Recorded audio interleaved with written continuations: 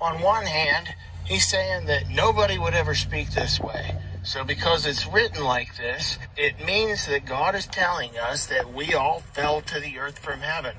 And he's speaking that the earth, as it's used here, Why would you put this there? They fell from heaven It's either one or the other. fallen angels.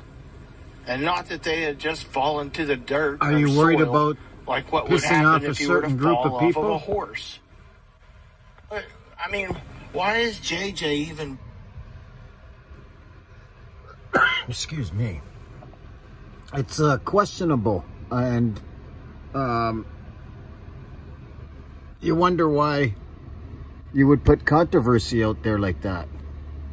Um, you know there's a battle within the uh, the churches about flat earth and everything.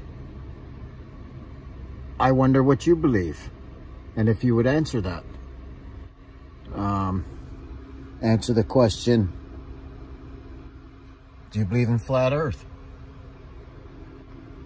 explain it yourself? also Don't be lazy. But after they do exactly what you say, and they start to research something, Lord forbid again, Two great lights. The greater light to rule the day, and the lesser light to rule the night, and the stars. And God set them in the expanse of the heavens to give light on the earth. I wonder why you're not using the King James here.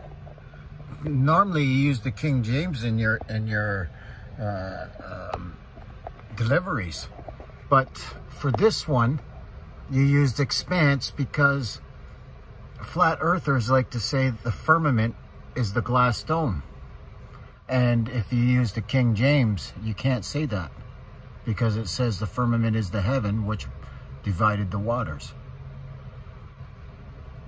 I hope you can help me out with this, Gene, because I have to find this out from you one way or another. And it's the reason why I asked before, what do you believe? Do you believe in the Trinity that was forced by Constantine?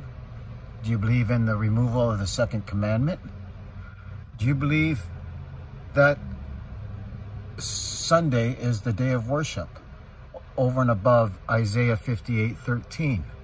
If you turn away the, your feet away from the Sabbath. And I'm not, not saying you don't do good work. You, you, you do fantastic entertainment. Um, and fantastic at destroying Jonathan. But if you destroy Jonathan, you destroy all that teaching that goes with it. And this is what I got to be, be careful about.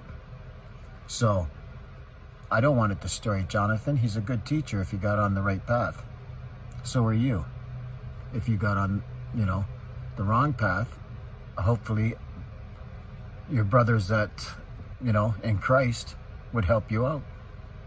I'm just saying, you know, and, and, you know, let me know in the uh, comments below if I, if I'm out of my boundaries here or not um, because it is about salvation.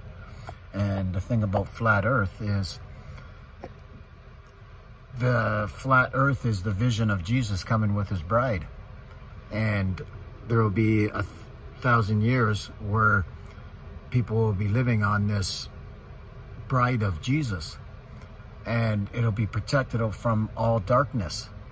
So it could have a glass dome over it, could have water over it, could have something over it. I don't know. But that's the flat earth, the thousand years. And if they people believe that we're in the thousand years, then you got to believe that Jesus has already come. And that will put everybody into a depression and uh, not want to uh, follow the word and protect themselves. So, and this is my concern about this and keep up the good work, Gene. I just uh, got a little confused on these presentations of yours. I wonder if you can help me out there.